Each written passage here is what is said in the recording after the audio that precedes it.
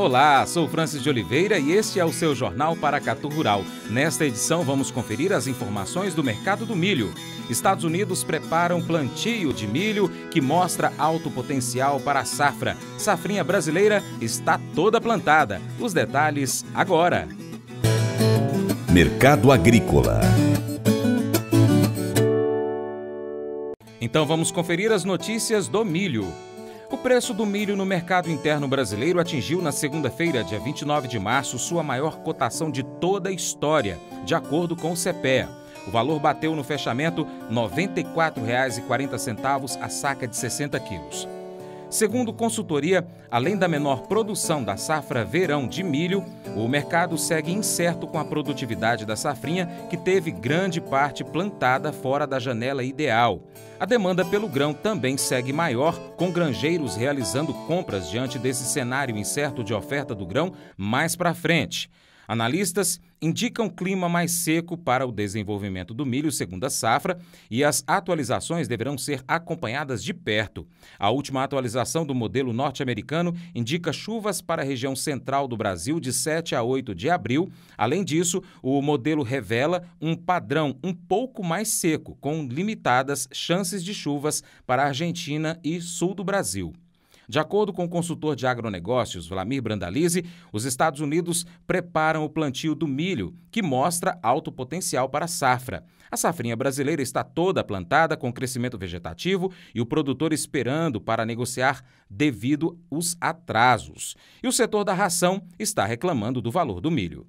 Com relação ao, ao, milho, também o mercado americano de olho aí nas condições de clima, o plantio vai evoluindo ainda no início, meio oeste americano, temperatura subindo, preparando o plantio que deve começar a andar na próxima semana em diante, já as primeiras lavouras, e todas as fichas apontando aí que deve vir uma área acima de 37 milhões de hectares, ou provavelmente acima de 37 milhões e meio, e os mais otimistas podendo apontar até 38 milhões de hectares. No ano passado foram plantados 36,7 milhões de hectares de milho nos Estados Unidos, e com isso o potencial da safra americana já começa na casa dos 400 milhões milhões de toneladas se o clima for favorável, frente às 360 milhões colhidas esse ano. Então vai dar uma normalizada no quadro americano se o clima seguir favorável para a safra desta temporada. Enquanto isso, no Brasil, as lavouras de safrinha todas plantadas, o clima tem se mostrado regular, a boa umidade no solo e as lavouras em desenvolvimento vegetativo, algumas mais adiantadas na fase de florescimento, mas a maior parte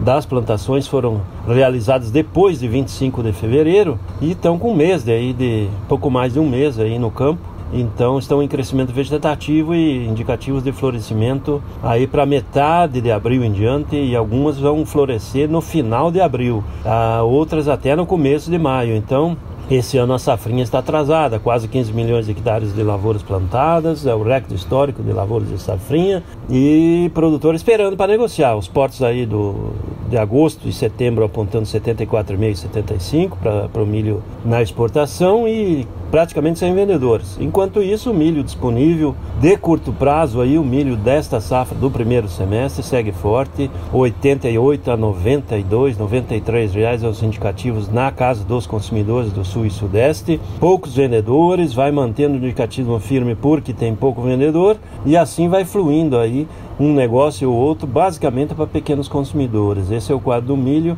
e muita reclamação do setor de ração, né? Apontando que mês de abril vai ter queda do alojamento de frango, alojamento de matrizes de postura, há indicativos que o próprio setor do suíno deve diminuir e automaticamente há uma pressão grande do setor aí para uma redução na demanda de milho e de ração para tentar equilibrar as contas. Muita reclamação de custos acima dos valores de faturamento, isso vem sendo apontado também pelo setor do leite, que reclama dos custos muito altos aí nesse momento.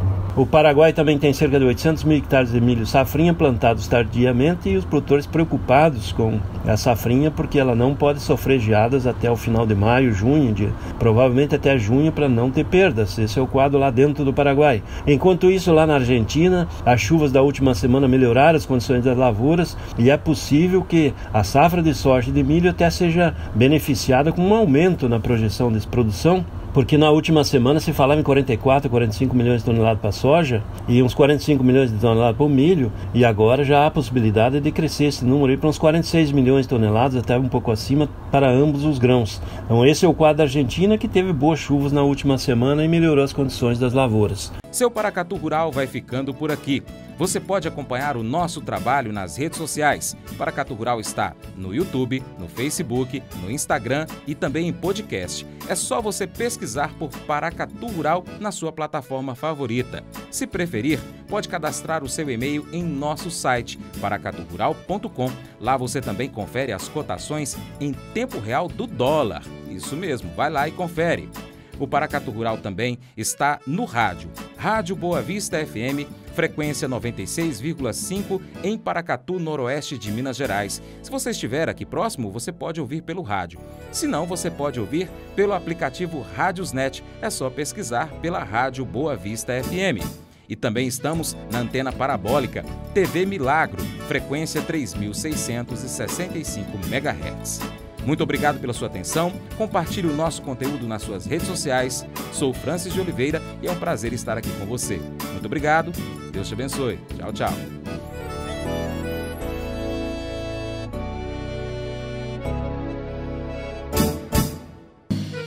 Acordo de manhã para prosear no mundo do campo, as notícias escutar. Vem com a gente em toda a região com seu programa Paracatu Rural. Tem notícias, informação e o mais importante, sua participação. Programa Paracatu Rural. Programa Paracatu Rural.